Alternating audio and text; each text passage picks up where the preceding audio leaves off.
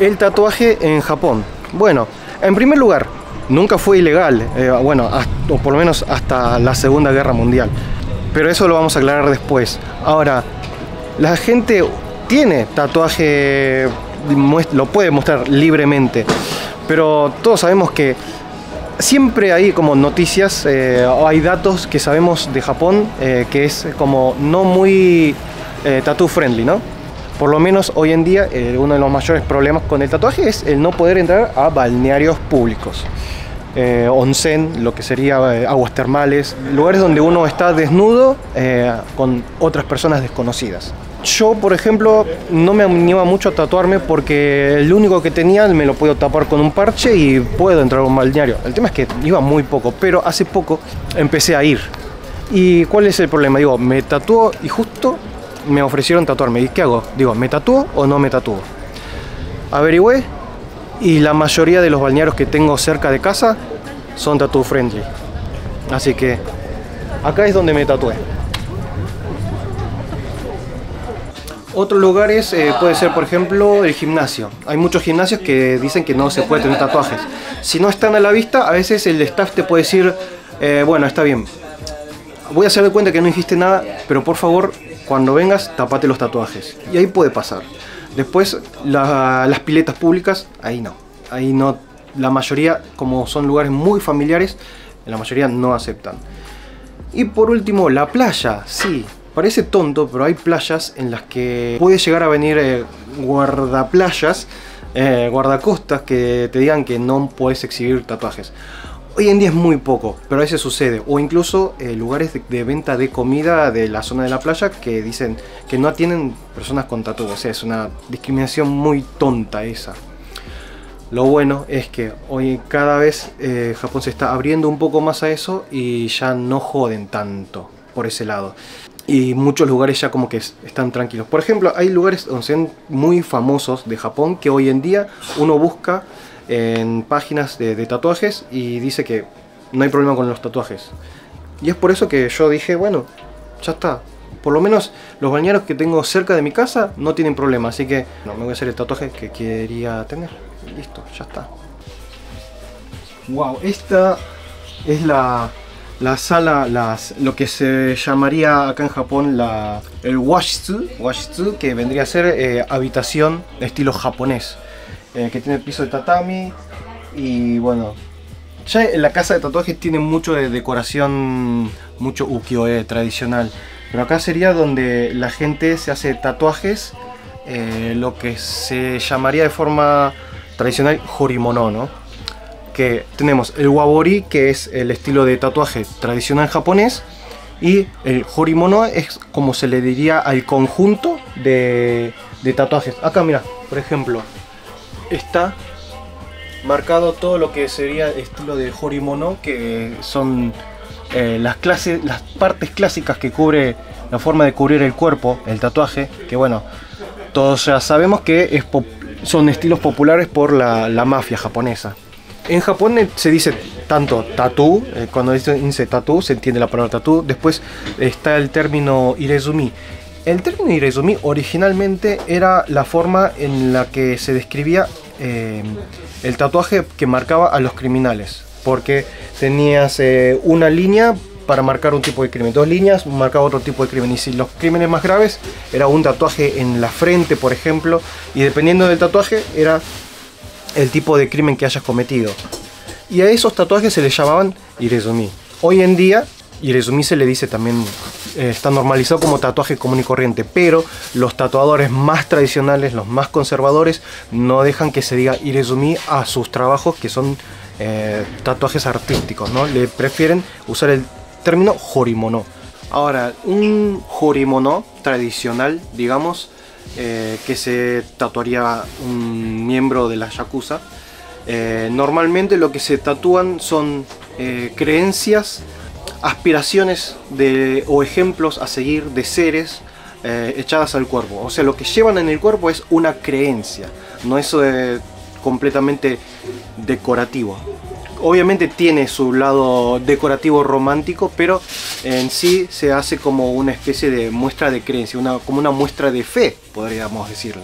Ahora, los que hacen Horimono del más tradicional, como que también tienen que saber algunas especies de, no reglas, sino em, como hay como algunos patrones a seguir, como unas costumbres, que es, por ejemplo, si uno se quiere tatuar un pez koi, eh, un dragón y un, algún kami o no sé, un buda, digamos, se tiene que saber dónde se pueden poner eh, esos seres en el, qué parte del cuerpo. Por ejemplo, si tenemos que combinar los tres en un solo Horimono, el koi normalmente va en la pierna, en la parte más baja. El dragón iría, digamos, más alto que el koi, iría en la parte del hombro, del pecho, pero el principal, eh, que vendría a ser en este caso un Buda, sería en la espalda. Y esos son, digamos, algunos eh, como costumbres que tienen que conocer los eh, ¿no? los que serían los tatuadores. ¿Cómo es que estás tatuando en Japón? Siempre hice guest alrededor de varios países del mundo y de Europa y me fui informando sobre las leyes del Japón, contacté unos cuantos estudios por Instagram y encontré este estudio y hablé con ellos a través de email y simplemente organicé un guest y me aceptaron y todo y fue bastante bastante fácil, eh, no fue tan difícil de hecho. ¿Vos sos nacida en Italia? Sí, yo nací en Italia, trabajé, empecé a tatuar en Italia cuando tenía 18 años. Luego con 22 eh, años, 23 me mudé a España. Ahí empecé a abrir mi primer estudio en España y aprendí a hablar español. Y desde ahí empecé a conocer muchísima gente, muchísimos tatuadores. Empecé a trabajar en Madrid, en Barcelona, se ve que con el tiempo aquí la cultura está un poco cambiando y hablé con el dueño del estudio y me dijo que hoy en día los jóvenes japoneses de hoy en día están ah, abriendo horizontes hacia tatuajes muy más estilo occidentales. Así que sí, parece como que aquí las cosas están un poco cambiando. En cuanto un poco a lo que es la historia del tatuaje, bueno, desde la existencia de lo que es la historia de Japón ya 10.000 años antes de Cristo de la era Jomon, ya había, se supone, eh, tatuajes dentro de la sociedad de, este país antes de que se llamara Japón mismo. Solo que bueno, estaban un poco más conectadas a lo que era la religión. Luego ya para el siglo IX más o menos eh, se empezó a hacer esta marca para identificar criminales. Luego ya en la era Edo que fue la época de auge artístico en Japón, empezó a usarse tatuajes de forma artística. Algunos delincuentes se tapaban con tatuajes eh, artísticos para justamente por el tema del scratch ¿no? del tatuaje. Después, por ejemplo, era muy común entre los bomberos que tengan tatuajes que lo usaban como una especie de talismán, protección, porque sus trabajos eran peligrosos. Pero también incluso pescadores o eh, carpinteros también tenían tatuajes que los identifique también. El problema fue eh, la era Meiji, cuando Japón abrió, reabrió sus fronteras al resto del mundo, se volvió ilegal el tatuaje, porque como se seguía usando la, eh, marca de crimen, directamente dijeron que el tatuaje ya no estaría permitido. Y además para mm, verse mejor ante otros países, como que lo veían eh, tal vez un poco arcaico el tema del tatuaje. Así que dijeron, vamos a prohibirlo. Por lo tanto, las personas que tenían tatuaje tenían alguna especie de permiso de decir este tatuaje lo tengo antes de que haya nacido la ley. Y las personas que se tatuaban después de la eh, ilegalización eran ya criminales que lo hacían de forma muy intencional, eh, los llamémoslo los punkis del siglo XIX-XX. El hecho es que hasta que terminó la Segunda Guerra Mundial era ilegal y ahí es cuando se volvió, dejó de ser un delito. Y el tatuaje quedó en un espacio un poco gris. Porque no era ilegal, pero sí era algo que tenían muchos delincuentes. Y lo que eran los, obviamente los yakuza, las mafias, sí se estaban tatuando. Pero como estaba permitido ya, la, ya quedó este estigma. Y la gente directamente para no incentivar que otras personas se tatúen por gusto, decían que el cuerpo es algo sagrado que nos dieron los padres, por lo tanto, por respeto a nuestros padres, no debemos lastimar el cuerpo que nos dieron, porque el tatuaje sería lastimar, la piel. Y este es un estigma que duró por mucho tiempo, hasta casi la actualidad. Hoy en día es cuando ya está un poquito más tranquila la cosa. Ella es Francesca, italiana, se vino para como tatuadora guest de la casa, tatuate, la casa de tatuaje que, en la que estamos ahora. ¿Cómo se llamaba este lugar? Eh, three Tides Tattoo. The, Three Ties, Three Ties Tattoo, TTT. Este, es una casa de tatuajes que yo creo que si alguna persona extranjera quiere venir a tatuar a Japón, eh, puede llegar a contactar al lugar. Eh, son bastante flexibles para hablar, ¿no? Sí, sí, sí, sí, sí, hay, hablan, um, un par de ellos hablan bastante bien inglés. Y sí, sí, sí, sí, sí, bastante fácil de contactar con ellos. Sí, así que les dejo el Instagram, que además tienen muy buenos trabajos, eh, por lo que vi por acá. Este, mm, yo hoy me estoy tatuando un alien, una calavera de alien, eh, con estilo eh, japonés ukiyo-e. Eso sí, los que son conocedores de alien sabrán que el alien en realidad en la calavera, en los huesos, tiene el hueco de ojos y nariz. Pero estéticamente me gustó que sea una calavera, pero sin ojos y sin nariz. Me gustó más así. Vamos al caso, eso es algo que depende del gusto. La pregunta es por qué no me tatué antes.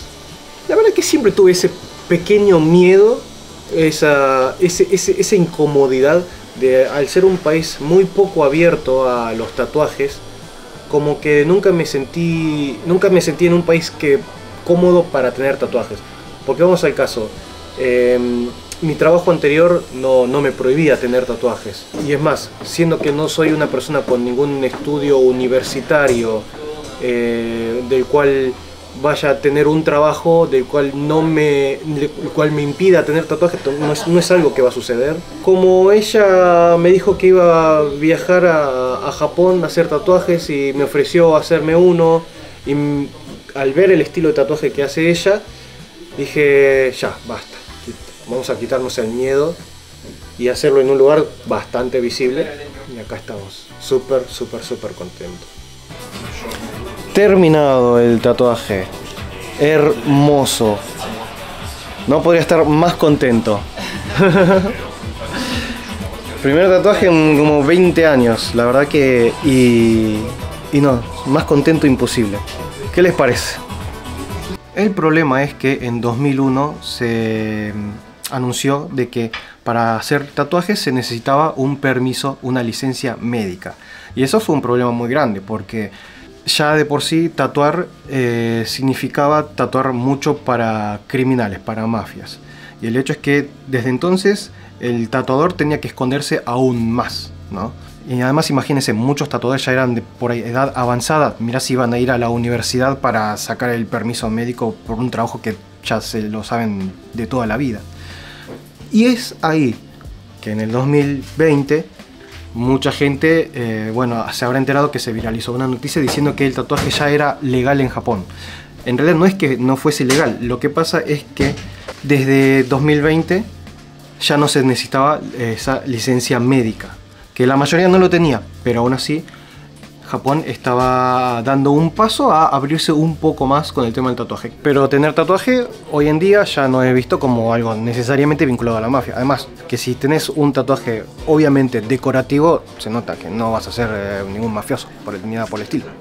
Tampoco significa que tenga que ser una persona rebelde, pero bueno, para la gente muy mayor puede sonar, eh, se puede ver como gente un poco, como gente un poco rea, se la puede ver. Pero igual es un prejuicio que cada vez, por suerte, va bajando mucho eh, el nivel y es también una de las razones por la cual también decidí poder eh, tatuarme en una zona tan visible, ¿no? Lo que sí, hoy en día, el que no se podría tatuar es aquel que tenga un trabajo extremadamente formal.